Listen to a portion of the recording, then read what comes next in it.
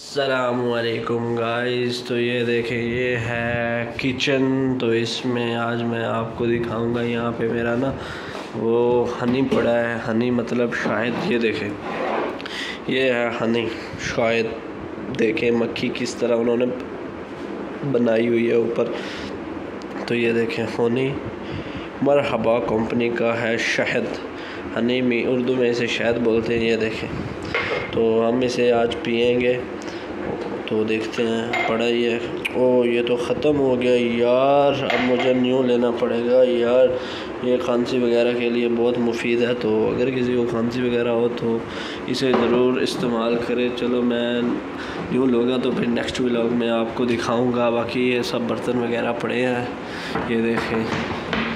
ये अलमारी बनी हुई है तो ये देखें ओके गाइस अल्लाह हाफिज़। चैनल को लाइक करें सब्सक्राइब करें कमेंट करें।